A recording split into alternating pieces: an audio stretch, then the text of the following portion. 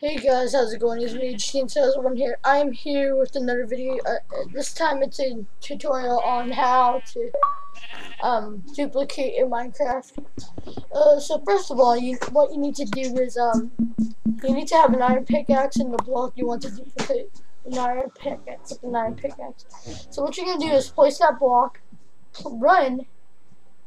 Uh, uh, what's it? Use the RB button to um use your RB button and run and place it before you, you pick it up. And yeah, so thanks to my friend Brian, link in the description below for helping me and sharing this tutorial critical and the YouTuber that I found on how to do it correctly. So what you're gonna do is run. So what you're gonna do is use your pickaxe, uh, mine it, run and pick it up and place run and place it before you pick it up. And as you can see, you have another block. Don't use a crafting table, otherwise it will not work, and it won't like work. And won't. You have to do is run and like.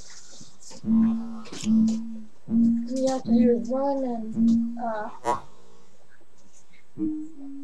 and and use your X button to look for this is the little painting portrait thing. And you'll see this like little ingot thing, little ingot or and you'll see the little iron ingot. Just scroll down and put down the iron ingot.